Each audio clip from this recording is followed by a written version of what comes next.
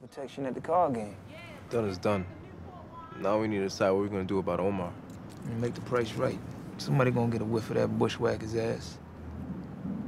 Then you take it from there. Think so? I ain't saying Omar can't be got. Any nigga can be got.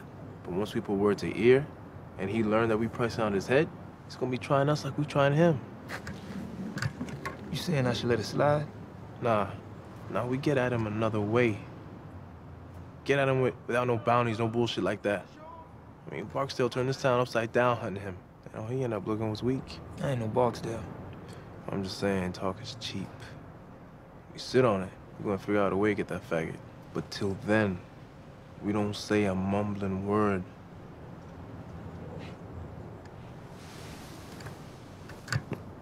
Yeah, did he?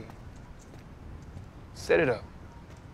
Why you always be back here? Quiet, and I can see what comes. But you out in the weather and shit. Don't like to speak in no rooms. Yeah. Yo, you ain't staying long. So you know, almost got that for you. I just need a couple of days more.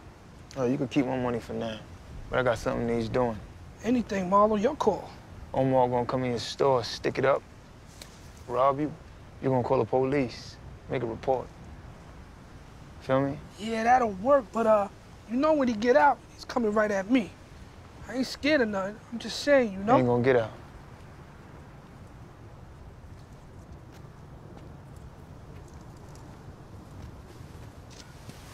Man, make bail on robbery. Make it no bail.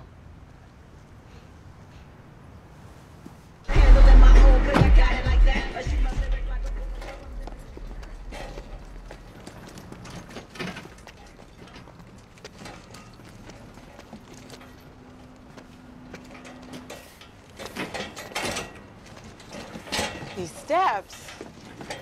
Thank you, baby. You're good to go.